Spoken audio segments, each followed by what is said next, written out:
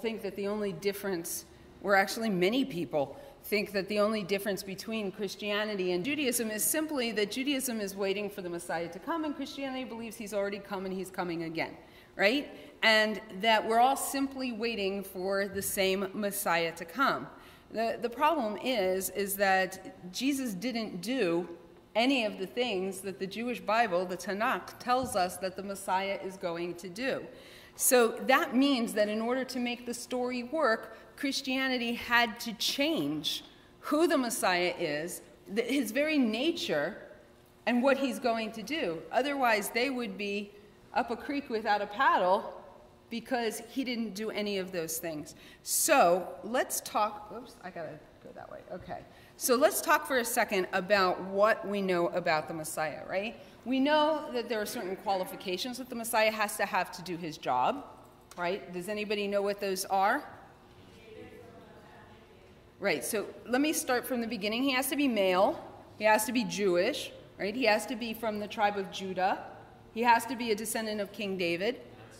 And, right, through Solomon, exactly. So anybody who doesn't fit that doesn't get the job, right? But then once you find somebody who qualifies for the job, what is the Messiah going to do? There's quite a few things that the Torah tells us, or Tanakh tells us that the Messiah is going to do, but there's some that really stand out for us, right? We understand that during his reign, the third temple is going to be built, or the, the temple, holy temple is going to be rebuilt. We understand that he's going to bring in the exiles. That is, that all of the Jewish people who do not live in Israel are going to come to Israel. In addition to that, what's the big one? The big one is, is that he's going to usher in a period of world peace. Right now, I don't know about you, but last time I looked on the internet, I don't have a TV, so I can't say turn on the TV, but uh, this place was not at peace, right? There's no world peace. And so when we look at it, there's no third temple. Israel is not living in safety. The Jewish people have not all come back to Israel. There is no world peace. One of the other major things that we see in the prophecies about the time of the Messiah is that the, um, excuse me,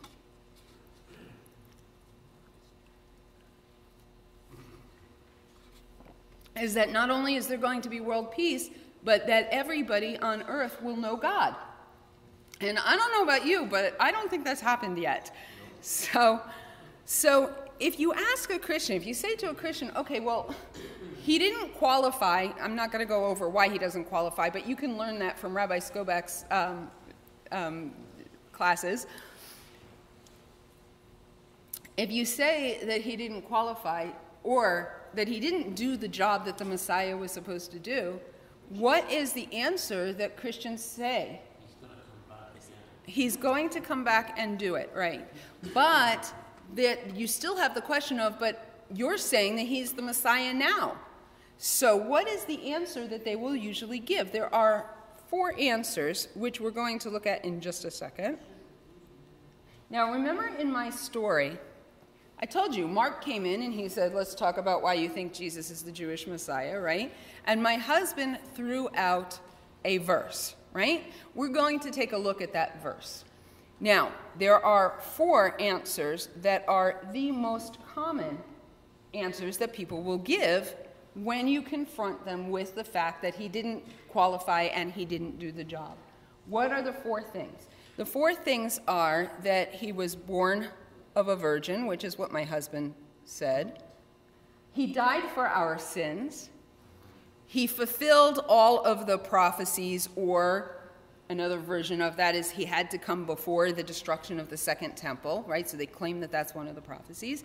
And if none of that works, the final answer is he changes people's lives. Okay? So we're going to take a look at those four answers and why they are not legitimate answers. Okay? So the first one is he was he was God incarnate or he was born of a virgin. Virgin. It's their version. Okay. So where does the concept of the virgin birth come from? It comes actually from Matthew chapter 1, verses 22 and 23. all right, which says, Now all this took place to fulfill what was spoken by the Lord through the prophet. Behold, the virgin sh- shall be with child, or shall conceive, and bear a son, and he shall be called Emmanuel, which is translated God with us. Okay, that's a verse from the New Testament, from the Gospel of Matthew, and that is where the concept of the virgin birth comes from. Now, ostensibly, this is a quote. You see, there's quotes, right? Behold. Ostensibly, this is quoting a passage from the Jewish Tanakh, from the prophet Isaiah. So what does it say in Isaiah 7:14, which this is supposedly translating? In the Christian translation, it says, "Therefore the Lord himself will give you a sign. Behold, a virgin will conceive and bear a son, and he will be called Emmanuel." Sounds like a match to me. There's lots of other places where the quotes aren't quite right, but, but that sounds like a match. Doesn't that sound like a match to you? Now, the problem is, is that it's not translated correctly, but even if it is, let's first look at it in context, like Mark did with me. Because, you know, Isaiah 7:14 doesn't start in verse 14, right? It starts at the beginning of the chapter. And this is something that I teach. I, I taught a counter missionary course in yeshivas and seminaries in Israel. And, you know, I always tell them, like, when you're baffled, when somebody picks a verse out of nowhere and shares it with you and you're just wondering, read the verse in context. 90% of the time, that will solve the problem. So we're going to go through Isaiah chapter 7, not all of it, but most of it, and we're going to look at what it actually says. Let's look at the context. Starts with verse 1. Now it came to pass in the days of Ahaz, the son of Jotham, the son of Uzziah, the king of Judah, that Rezin, king of Syria, and Pekah, the son of Remaliah, king of Israel, went up to Jerusalem to make war against it, but could not prevail against it. Okay? And it was told to the house of David, saying, Syria's forces are deployed in Ephraim. So his heart and the heart of his people were moved as the trees of the woods are moved with the wind.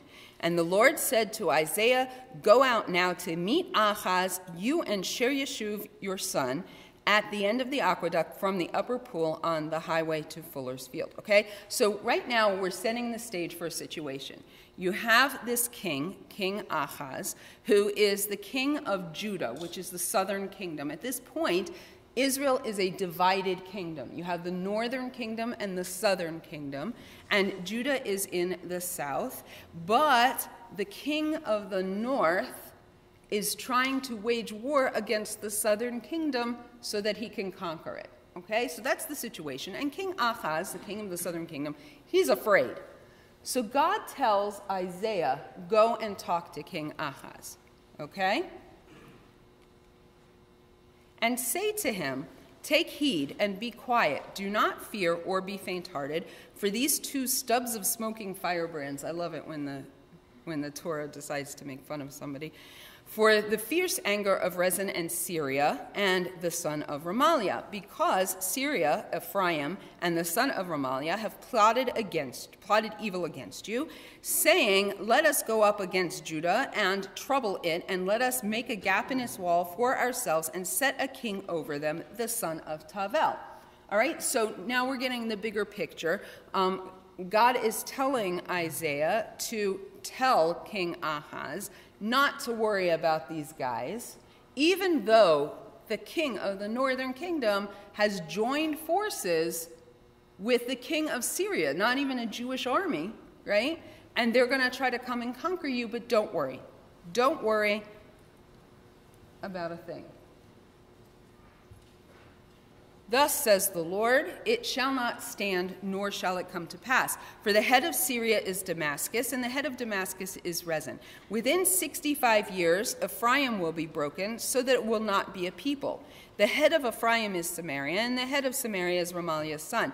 If you will not believe, surely you will not be established. And before I read the last verse that's on this particular slide, let's just take a look at what's happening, right? God is telling him not to worry that even if the king of the northern kingdom and Syria and the Samaritans are going to come down and try to conquer you, don't worry, because within 65 years, the northern kingdom is not going to exist. Now, I don't know about you, but 65 years is a long time, right?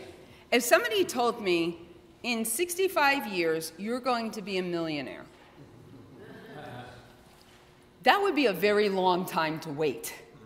Now, I might hold on to it, but you know, when I end up being, you know, I don't have a car and I'm homeless, the idea that in 65 years I'm going to be a millionaire doesn't do me much good right now, right? And it would be very easy for me to lose faith that this is going to happen.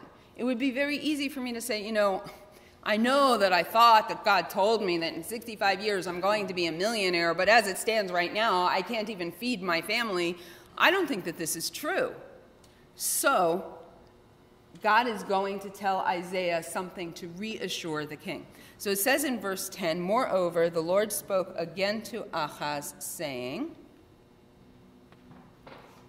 Ask for a sign for yourself from the Lord your God. Ask it either in the depth or in the height above. But Ahaz says, I will not ask, nor will I test the Lord. So Isaiah says, Hear now, O house of David, it is a small thing for you to weary men, but will you weary my God also? Okay, so what's happening here is he says in 65 years this thing is going to happen, but that's a long time to wait.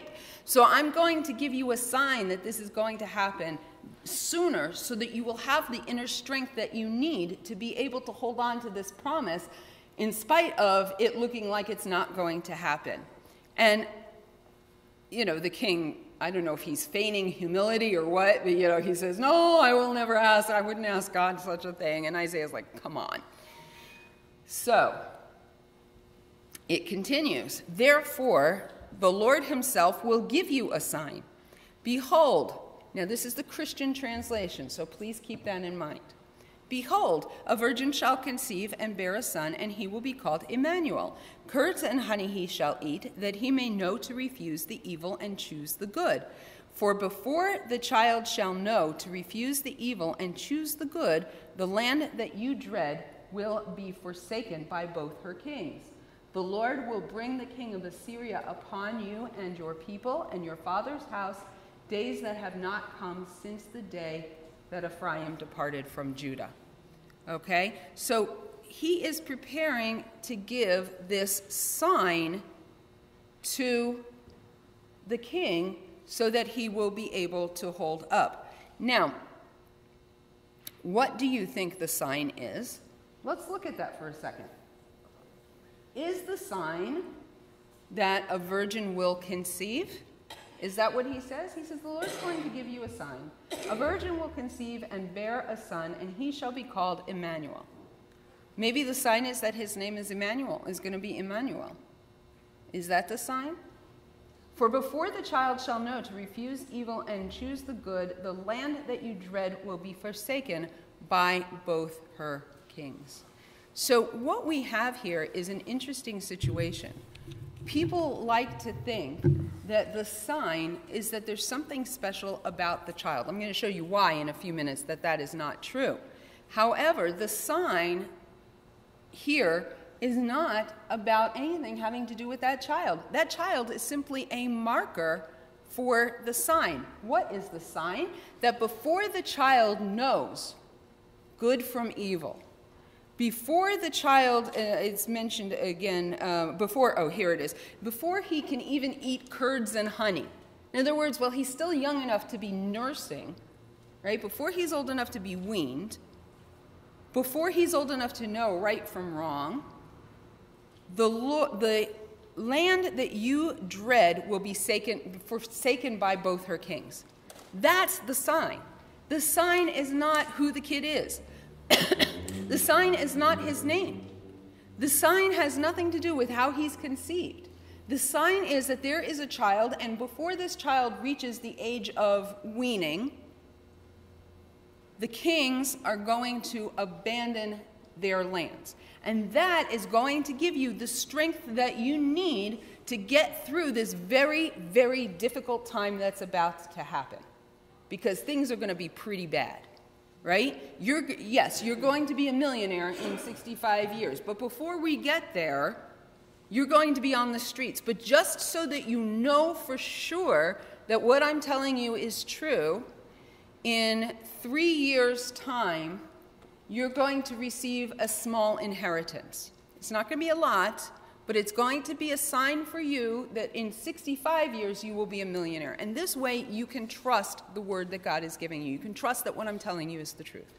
That is what this passage is saying. This passage is saying that here is the sign that the kings will abandon their land. Okay, now I'm not going to read the rest of Isaiah 7, but I just didn't want you to think I was not including it. It describes all of the mess that the king is going to have to deal with, and you can read the rest of the chapter for yourself. But then we go on to chapter 8, right? And now Isaiah is speaking to the audience, and he says, Then I went into the prophetess, little too much information there. And she conceived and bore a son. Then the Lord said to me, Call his name Maher Shahal Hashbaz. And please forgive me for the way I'm pronouncing it. For before the child shall have knowledge to cry, My father, my mother, the riches of Damascus and the spoil of Samaria will be taken away before the king of Assyria. Now, keep in mind that the Bible, the Torah, does, and Tanakh do not always say things exactly in order, right? We have the example of the creation story where we get a big overview and then he goes back and makes some explanations. And that's what's going on here. So, the prophet Isaiah says that his child will. Um, actually, this doesn't even say, he says, uh, I left out the verse, I apologize, that his children were given as signs and he's, he has a son, and the son's name is Maher Shahal Hashbaz. All right, now the child in our prophecy is supposed to be called what? Emmanuel. So wait a minute, how is this the same guy? Let me ask you a question. If you're married to a woman and you have a baby, and at the bris, you decide to name your son Maher Shahal Hashbaz, what do you think your wife is going to do besides kill you or disown you? She's going to call him something else, isn't she? She's not going to call him that, because that's crazy. Nobody would call their kid that. And like I said, you might be sleeping in the doghouse for a little while. So bear that in mind, because we're going to go back and tear apart that verse for a second. But um, so now, let's look at this verse again. The Christian translation here says, Therefore, the Lord himself will give you a sign. Behold, a virgin will be with child and bear a son, and will call his name Emmanuel. Now, you can probably see, some of you probably can't read it, but that's okay. There's Hebrew under there. That is the actual quotation from the verse in the book of Isaiah in Hebrew. And it says, Lechain yitain Adonai, hu lochem ot hine ha'alma hara v'yaledet ben v'karat Vikarat Shemo Immanuel. Okay? We're going to look at what that actually means. But right now, look at that word that's underlined virgin. The word there is the word alma. Okay? That is the word alma. Alma is a Hebrew word, obviously, that means youth. Elam is the form of the word that is usually used in the Tanakh to mean the word youth. And it exists in both the masculine and feminine forms. An Elam is a young man, and an Alma is a young woman. It refers only to age and has absolutely nothing to do with sexual condition. Um, there have been so many times, so many people, when they convert to Christianity, and I've talked to them and they say, oh, well, but it's assumed that a young woman is a virgin. And I'm like, really? Not really. I mean, even if you're talking about a really young, okay, maybe, you know, us normal people assume that, but back in those days, you never know what could happen. This was a comment, the word alma only refers to age, it refers to absolutely nothing else. All right, and here we have two passages 1 Samuel chapter 20, verse 22, that uses a form of the word alma. It says, But if I say to the youth, Behold, the arrows are beyond you. Go, for the Lord has sent you away. And this comes from the story of King David and Jonathan, and he's running away from uh, King Saul. And Jonathan says that he's going to bring a young man with him and he's going to get. Anyway, you don't need to know the whole story, but the word there is Elam, meaning a young man. In Exodus chapter 2, verses 7 through 8, it says Then his sister said to Pharaoh's daughter, Shall I go and call a nurse for you from the Hebrew women that she may nurse the child for you? Pharaoh's daughter said to her, Go ahead. So the girl went and called the child's mother. So this is the story of Moses, when Moses was put into the Nile and the um, Pharaoh's daughter, yeah, Pharaoh's daughter, fished her out of the water, right? And Moses' sister said, Should I go get a nurse for you? And we don't know from the story how old Moses' sister Miriam was. And really, there's no reason for us to know whether she was a virgin or not, right? So the chapter simply tells us that she was an Alma, she was a young woman. And that's all we need to know, right? All right, now, when Mark was with me in our house and my husband had thrown out this verse about the virgin birth, he said, But the Septuagint says, now, I don't know if you know what the Septuagint is. The Septuagint is the Greek translation of the Jewish Bible. All right, and without getting into the whole story, I'm going to share just a little bit of it with you. But in the Septuagint, it translates the word Alma as Parthenos. Parthenos, ostensibly meaning a virgin in Greek. But the question is, does it really say that? So I'm not going to read you the whole story, but there's in the Talmud we have an account of what happened when the Septuagint was being translated. And basically, King Ptolemy decided that he wanted a Greek translation of the Torah in the um, library at Alexandria, and so he commissioned um, 72 Jewish elders, scholars, rabbis, depending on who's telling the story, determines which word they're going to use, to uh, translate the Torah. And he cloistered them, and there's a whole miracle, and it talks about this in the Talmud. There was a whole miracle. All 72 scholars translated the Torah exactly the same way. So it's considered very reliable because of this miracle that happened. Okay? But the problem is, is that when somebody talks about the Septuagint, they're not just talking about the five books of the Torah. They're also talking about the rest of the Tanakh, the prophets and the writings. And there we have a little bit of a problem.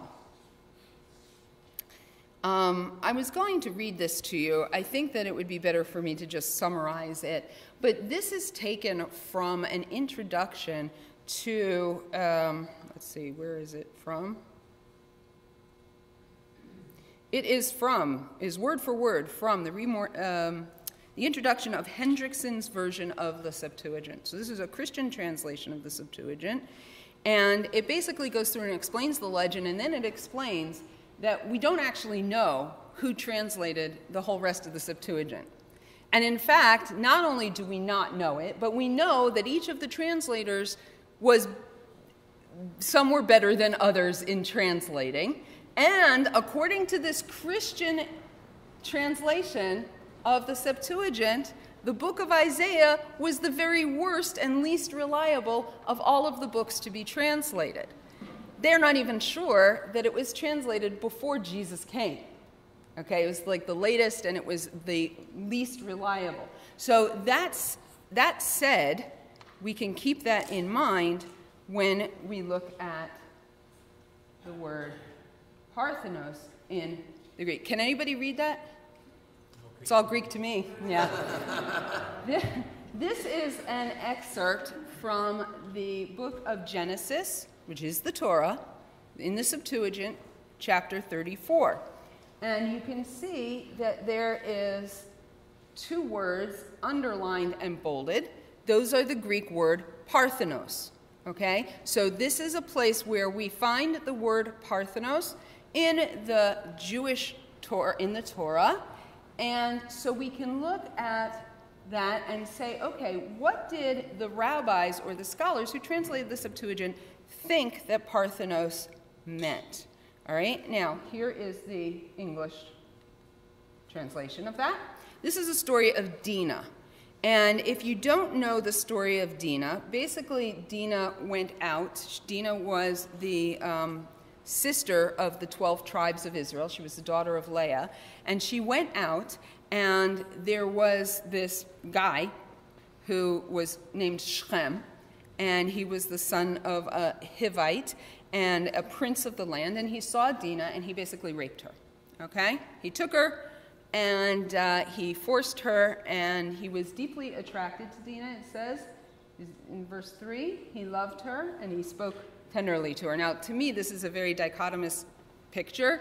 He raped her, and then he loved her and spoke tenderly to her, but we're not going to get into that.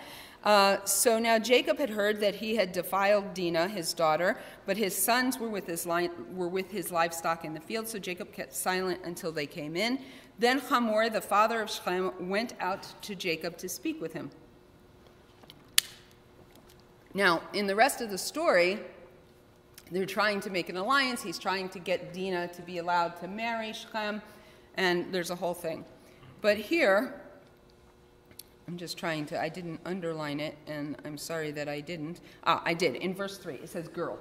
Okay?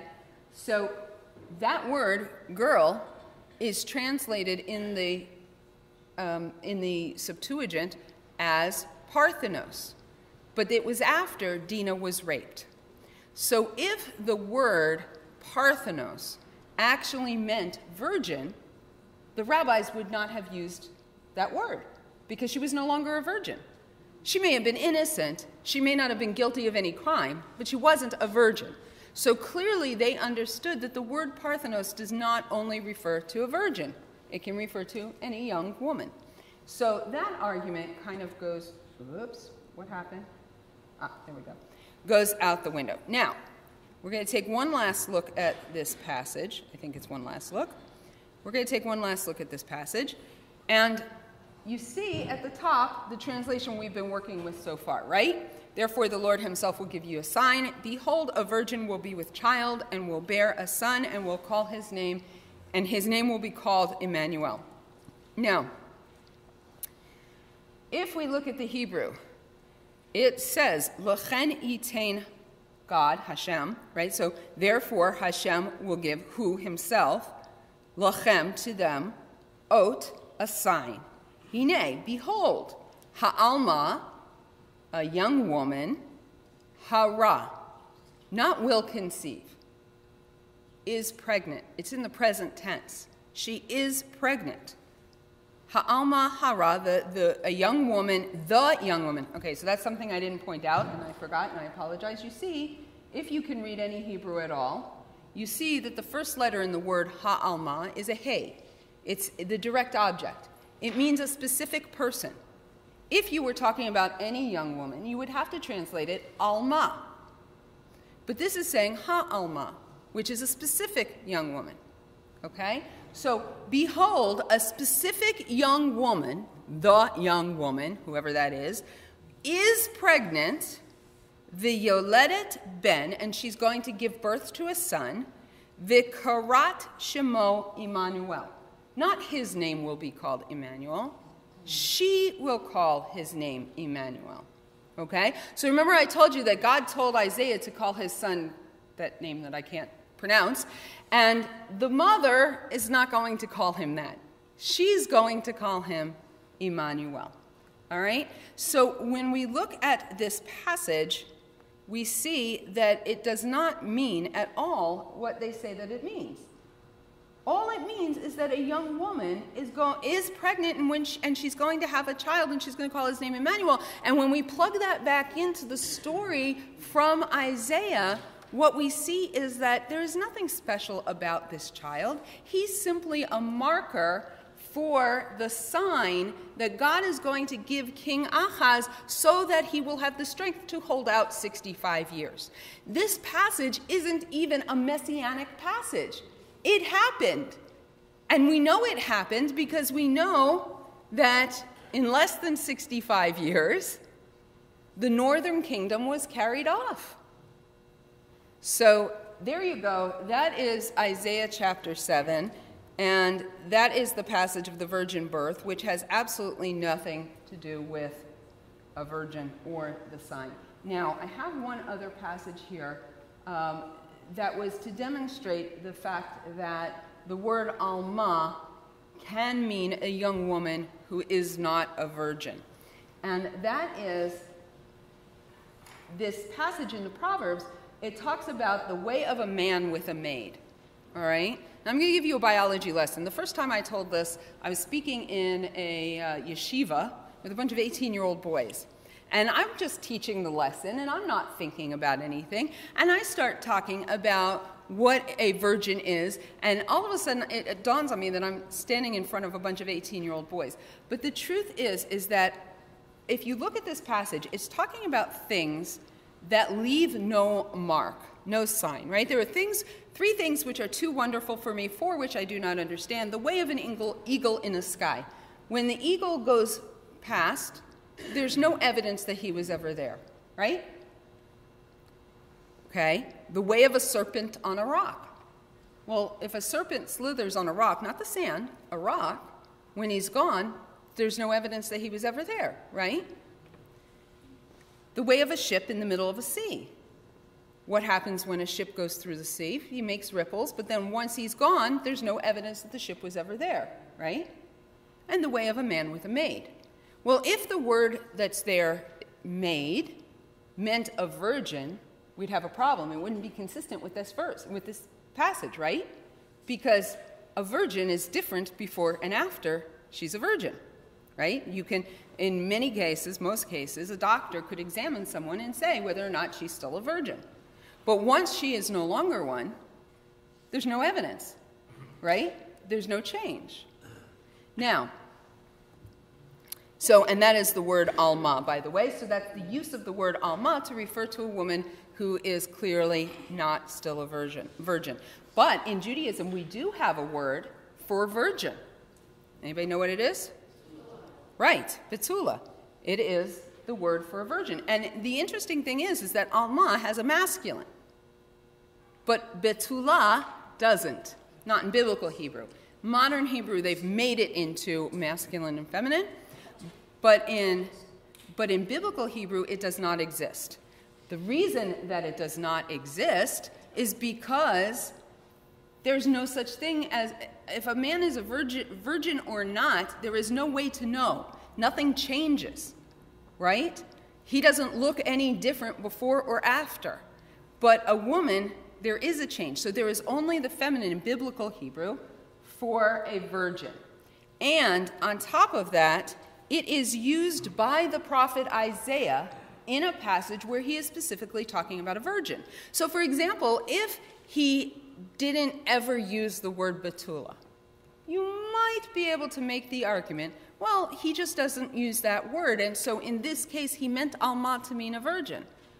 But he uses it, sorry, he uses it in chapter 62, verse 5 for as a young man marries a virgin, so your sons will marry you, and as the bridegroom rejoices over the bride, so your God will rejoice over you. So here we have the prophet Isaiah using the word betula to mean virgin. And so we know that he had that word in his vocabulary, and had he intended on that passage having anything to do with a virgin conceiving, he would have used the word, but he didn't. And so we understand that this passage does not prove in any way, shape, or form that there was a sign going to be given to people hundreds of years, 700 years in the future, that a virgin was going to conceive and it was going to be miraculous, and that was somehow going to be a sign to us that he's the Messiah, because it's not there. Okay. That was my youngest son and his wife at their wedding, by the way. All right. Um, number two. The number two answer that you will get from missionaries is, or Christians in general, is that we know that Jesus is the Messiah because he died for our sins, right? That's a huge one. In fact, the question is asked how can you get forgiveness for your sins if there is no temple sacrifice? It's a good question if you're coming from the Christian perspective and understanding of what the purpose of the temple sacrifices were to begin with and what they actually accomplished. And in fact, I'm not going to read this whole thing to you, but there is a tract, which is a pamphlet, that was designed to convince Jewish people that they need Jesus, that was handed out um, that says this very thing. He says, You don't have sacrifice anymore. And since sacrifice is required and you don't have a temple, so you don't have any sacrifices, how on earth can you get forgiveness from your sins? It's a big question if you're coming from that perspective. Now, he does say in the second paragraph, you have no blood atonement at all, and without shedding of blood, there is no remission for sins, for it is the blood that makes an atonement for the soul. And he thinks he's quoting from Leviticus chapter 17, verse 11. He says, Therefore, your sins are not atoned for, and your soul stands condemned before a holy God. The answer being, therefore, you need Jesus, right? So, no temple, no sacrifices. We've got a problem, right? But Christianity has the solution, and the solution is ostensibly to believe in Jesus. Okay, so let's ask the question Is it true? Is it true that in the Jewish Bible, the only way that people could atone for their sins was through bringing a blood sacrifice? No, very good. But that's the missionary claim. The claim is that Jesus is fulfilling what the Hebrew Bible requires of us. So we're going to play a little game here because it's getting long and I'm getting bored. We're going to ask the missionary where in the Bible is it stated that without the shedding of blood there is no forgiveness of sins? Um, hello. There we go. Okay. So we ask the missionary where in the Bible is it stated that without the shedding of blood there is no forgiveness of sins, and the answer is always going to be Leviticus 17 11. So, what does the Jewish Bible actually say in Leviticus 17 11? Uh, the passage says, For the life of the flesh is in the blood, and I have given it to you on the altar to make atonement for your souls. For it is the blood that makes atonement. Now, nowhere does it say that without the shedding of blood there is no forgiveness of sins or any atonement, but it says that the blood on the altar makes an atonement for sins. Not the only atonement, but an atonement. Now, we're going to just take a quick look back again. Let's see. This comes from the passage in the New Testament, Hebrews 9, chapter 22, which says, And according to the law, almost all things are cleansed with blood, and without the shedding of blood, there is no forgiveness. All right, so that's a very clear Christian teaching that without the shedding of blood, you cannot be forgiven for your sins. But as we said, that is not consistent with the Jewish Bible. So we're going to play a little game. All right? The game that we're going to be, play is give this paragraph a title. All right? So, what does the paragraph say? We're going back up to verse 10, um, just because I don't want to go all the way back to the beginning uh, it says, And any man from the house of Israel, for the aliens who sojourn among them, who eats any blood, I will set my face against that person who eats blood, and will cut him off from among his people. For the life of the flesh is in the blood, and I have given it to you on the altar to make an atonement for your souls. For it is the blood by reason of the life that makes the atonement. Therefore I said to the sons of Israel, No person among you may eat blood, nor may any alien who sojourns among you eat blood. So let me ask you a question. If you could give only one title to this paragraph, to these three verses, which really are indicative of the rest of the chapter, what would you give the title to this passage? Yes? Abstain. Abstain from? From drinking or eating blood, right? That's what the chapter is about. The chapter is about abstaining from eating blood. It continues so when any man from the sons of Israel or from the aliens who sojourn among them in hunting catches a beast or a bird which may be eaten, he shall pour out its blood and cover it with earth.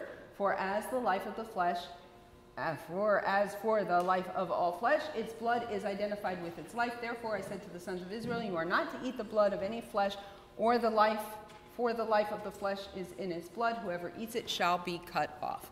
So you still agree that the paragraph title, the chapter title, should be the prohibition against eating blood, right? Okay, so that's it, 10 through 14. So the paragraph, the uh, we would call it the prohibition against drinking blood. We will not say that the focus of this passage is the principles of atonement, would we? No. Um, and the truth is, is that there, the principles of atonement are mentioned in Leviticus, but many, many chapters before. So, what is the verse actually saying?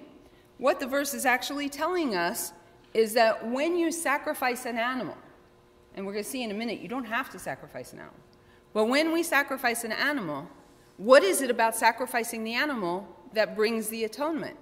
It's not the ears, it's not the tail, it's not the hoof, it's the blood, right? It's the blood that is the reason because we are giving, we are committing a very difficult act to do, even back then, of giving one animal, you know, taking a life in order to ask for forgiveness for our sins. So, what it is saying is that because the blood is the life force of the animal, that's why we can't drink it, that's why we can't eat it, and that's why that's the part of an animal that accomplishes forgiveness for our sins. So, can we get forgiveness for our sins if there is no temple sacrifice? It says in Isaiah chapter 1, verse 18, Come now, let us reason together, says Hashem. Though your sins are as scarlet, they will be white as snow. Though they are red like crimson, they will be like wool. Does it say, but only if you give blood? But only if you sacrifice an animal? No, in this case, God's just saying, Come to me, talk to me. Now, this is a three hour course. I don't know how long Rabbi Skobac's version of it is, but obviously I can't get into all of the details right now because otherwise we'll be here for a very long time and I'll miss my flight. But, um, but it's a good opportunity to take a drink.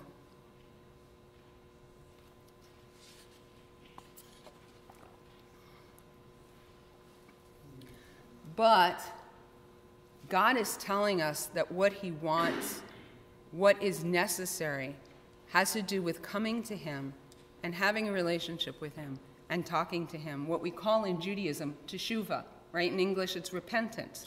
That's what God's looking for. That's what always worked when it came to asking for forgiveness. The bringing of the animals was simply a facilitator, an outward action that reflected an inward heart position of being uh, repentant towards the sin that we've committed. Okay. Why does it keep doing that? I must be hitting something incorrectly.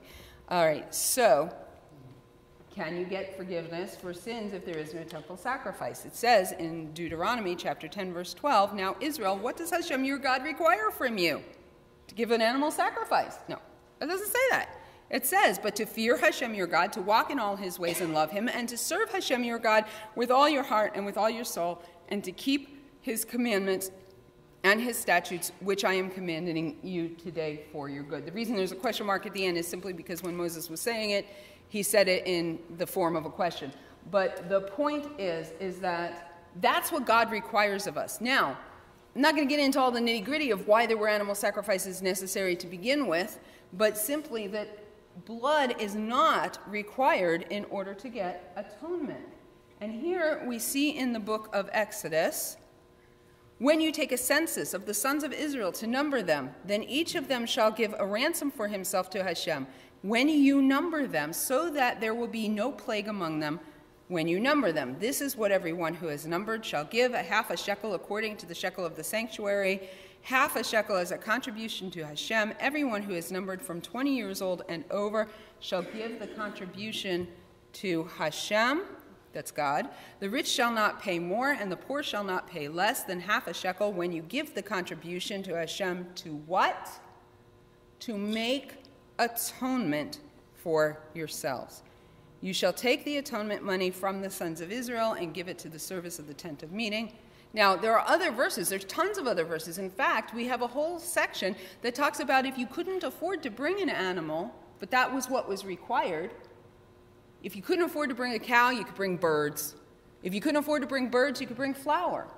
And I remember when I was Messianic, the explanation that was given as an excuse, because it doesn't make any sense, was well, the flour mixes with the blood from the other sacrifices and becomes a blood sacrifice. I don't know if any of you have ever heard that, but that was the explanation that was given to me. However, doing just a small amount of research, and I'm no expert on the temple and sacrifices, the flour was offered on a different part of the altar than the animals were, so there was no mixing of blood with the flour, just in case you ever encounter this.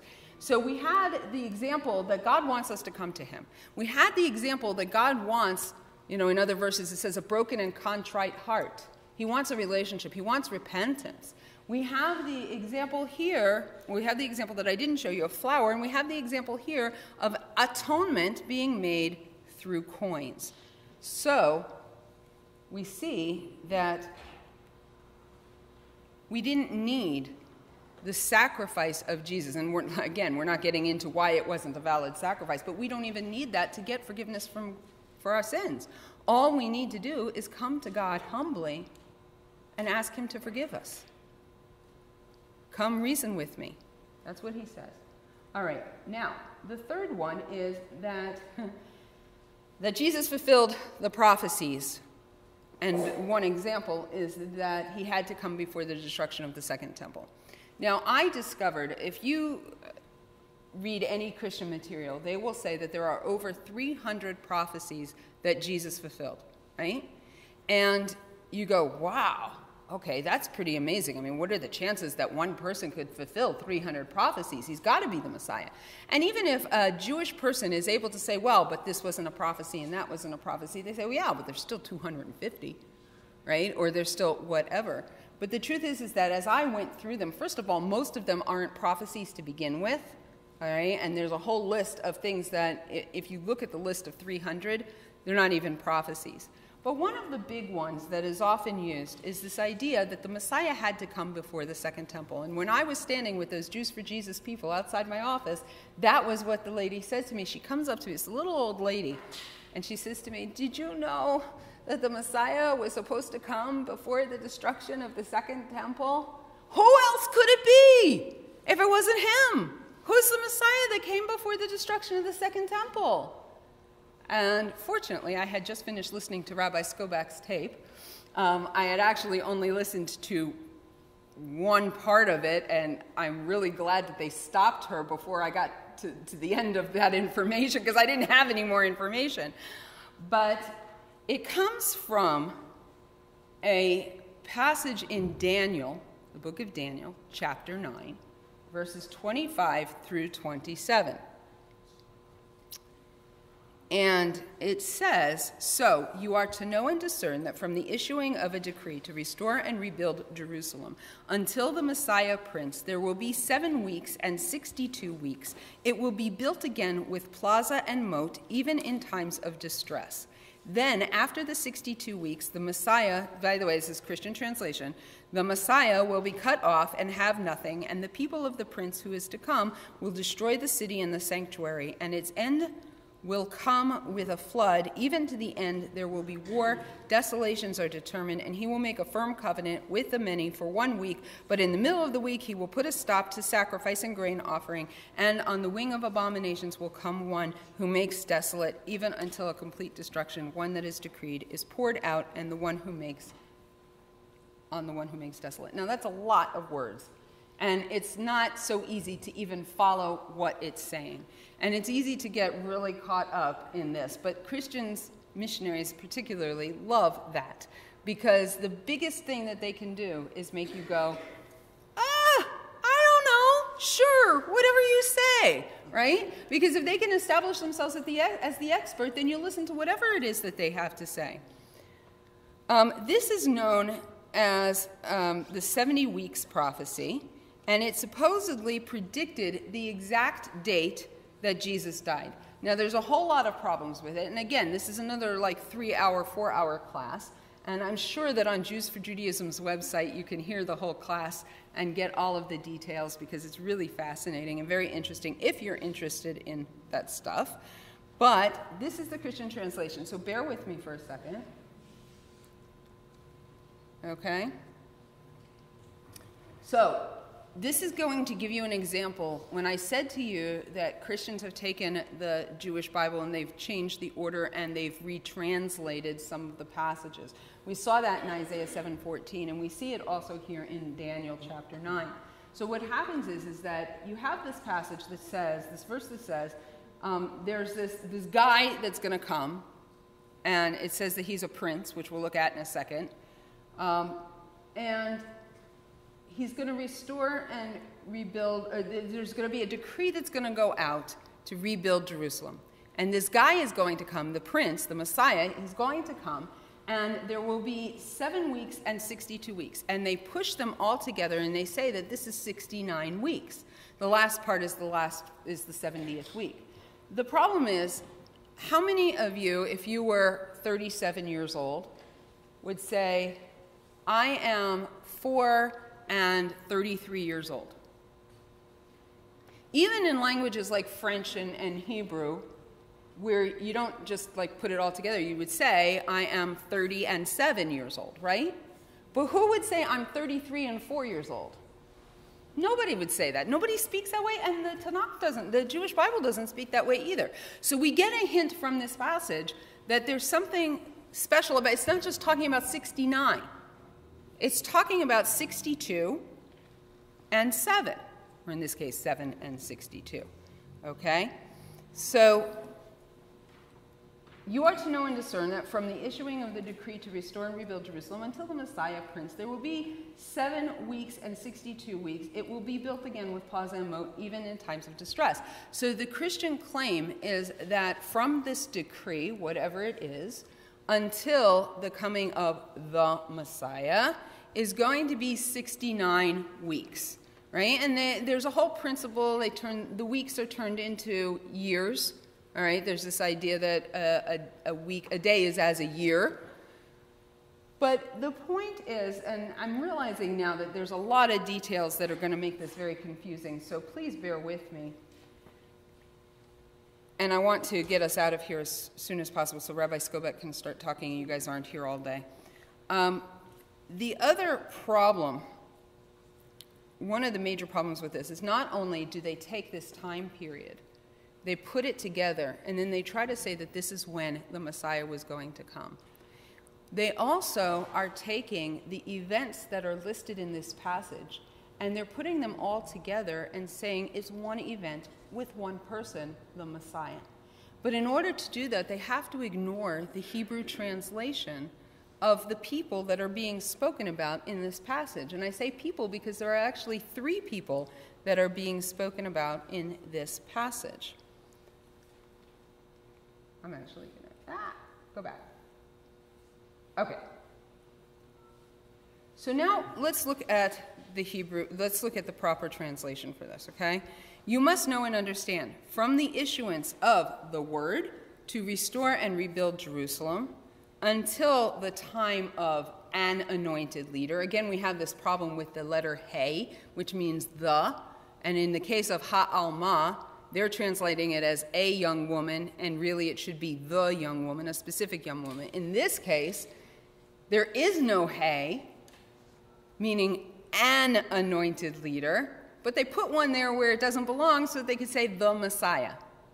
All right? So you can see how there's a lot of manipulation of the passage of the verses going on. All right? The proper translation is from the issuance of the word to restore and rebuild Jerusalem until the time of an anointed leader is seven weeks. And there's actually a punctuation in the Hebrew that tells us that there's supposed to be a semicolon there. Okay? Seven weeks. And for 62 weeks, it will be rebuilt square and moat, but in times of distress. After those 62 weeks, an anointed one, somebody different, will be cut off. And again, you have, they, they like to put the there, and it's not a the, it's a, an anointed one, will be cut off and vanish. And the army of a leader who is to come will destroy the city and the sanctuary, but its end will come through a flood. Now, it's interesting how if you read the translation, if you read it in the English the way it's supposed to be translated, it actually makes a whole lot more sense.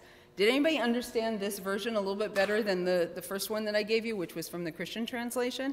It makes a whole lot more sense now. So, The problem is that Christians are trying to say that this is a passage about the Messiah, one guy who had to come while the temple was still standing before the destruction of the temple. And in order to make that happen, they have to manipulate the text. But the truth is is that this is speaking about three different people, and it did happen during the time of the Messiah.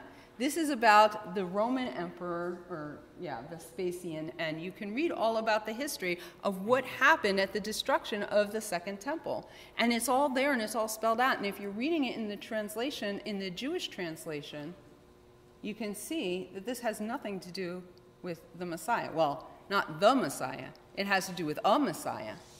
Because there was a very special person at that time who God called an anointed one who had to do with the rebuilding of the temple, the second temple. All right.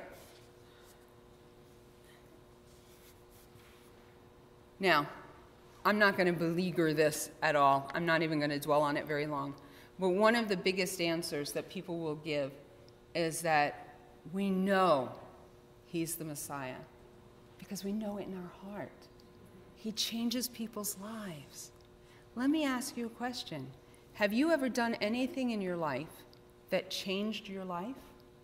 You know, belief is a very powerful thing. I talk a lot about the difference between belief and knowledge. In the English language, we make a distinction between the, the word belief and the word knowledge as if knowledge is very strong and belief is very weak. For example, if you ask me, What time is your flight? and I told you, I know my flight is at 5 o'clock. Or if I said to you, I believe my flight is at 5 o'clock, which is stronger? No, right? That's based on fact. But really, we're misusing the term because the truth is, is that belief is an extremely powerful force. There are things that you know that are facts that don't affect your behavior in any way, shape, or form, right? For example, if you smoke. I don't think there's a person in the Western world who doesn't know that smoking is bad for you. But, and if you ask somebody, I mean, I had a case of this with my little kids. When my kids were little, they went up to somebody who was smoking and they said, Did you know that that's bad for you? And the guy said, Yeah, I know. Now leave me alone, kid. Right? Because, look, donuts. Donuts are bad for us. Everybody knows that, but we still eat them. Right? An alcoholic knows that drinking too much is bad for him. But there are other forces that kind of mitigate that knowledge. So there's a lot of things that we know that don't affect our behavior at all. But people will die for things that they believe, even if it's not based on fact at all. People will blow themselves up for things that are fan- fantasy, fairy tales, right? So the idea, I mean, we are powerful. The Torah tells us that we're created in the image of God. The fact that we have the ability to change based on what we believe, that doesn't prove anything, right? I changed my diet and I changed my life. I actually am in the process of healing from an autoimmune disease because I changed my diet. So just because belief in Jesus change someone's life. You know, my belief in Judaism changed my life too. And I would have to say that my life now is better than it was then. So it's really, it's obviously it's not an answer, but it's one of the top four answers that you will get. And that's because beliefs are powerful, whatever they are. Um, that's not the right direction. Okay. So, last but not least, and it's not actually last, but why is this important? Why does it matter? It matters because Judaism matters, and the Jewish people matters. That's who we are. And before the Holocaust, there were 16 million Jews, right? And since the Holocaust, which is 70 years, we haven't even caught up to where we were before the Holocaust, right? Why is that? It's not because we're not having babies, because if you come to my neighborhood, I mean, I think they said that some woman gave birth last week in Jerusalem who was giving birth to her 20th child. And I guarantee she's not the only one, all right? Israel's bursting at the seams. So it's not because we're not having babies. There's another reason why the Jewish population is where it is. And that's because of assimilation, and it's because of conversion out of Judaism. And that's why this is important. I, I was going to go on, but actually, I just want to say one thing, and then I'm going to stop. That is, when I was working at Jews for Judaism, I got a call one time.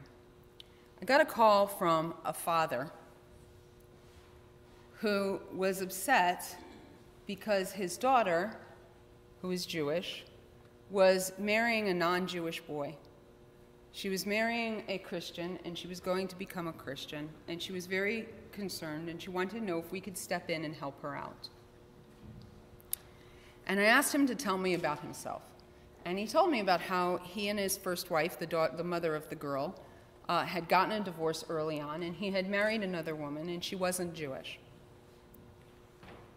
And I said to him, You know, you set the example for your daughter that it's not important to be Jewish, that it's not important to marry Jewish. And I asked him about his interaction, his relationship with his Judaism. And he was like, Well, you know, I know I'm Jewish. And I'm like, Why did you wait so long to come to us when you're in crisis? You have shown your daughter that Judaism doesn't matter. How could you expect anything different? So I want to close with this challenge to you. And that is that, and it's similar to the challenge I gave at the end of my story, is that you, in order to have an effect on other people, you cannot give what you yourself do not have.